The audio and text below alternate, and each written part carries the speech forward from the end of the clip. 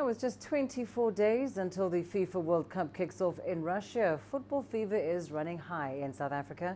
One primary school in Johannesburg has organized their own mini World Cup.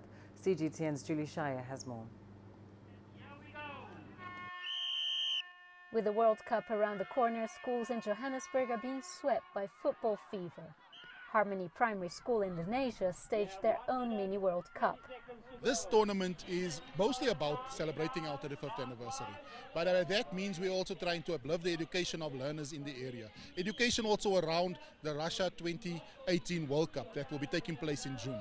About the process of a World Cup and how it runs, the different teams that are involved. Each school represented countries partaking in the Russia World Cup. All the teams here today are representing various countries in the Russia World Cup.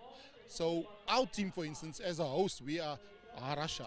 We've used this as to basically educate our learners and also for them to just enjoy the same kind of soccer spectacle that will be enjoyed in Russia.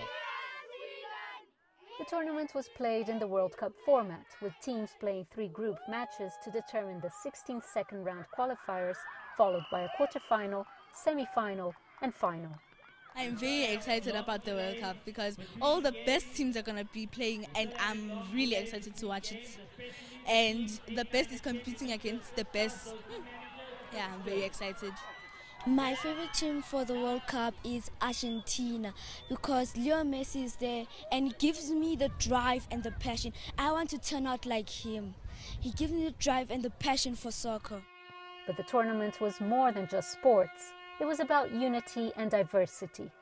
And at the end, there may not have been an overall team winner in this mini World Cup, but there were plenty of lessons learned.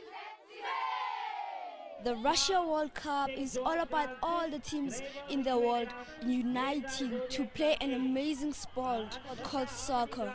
It's so great that all the, the, the teams unite in this way because it shows the love and the passion for the sport. Julie Scheier, CGTN, Lenasia, South Africa.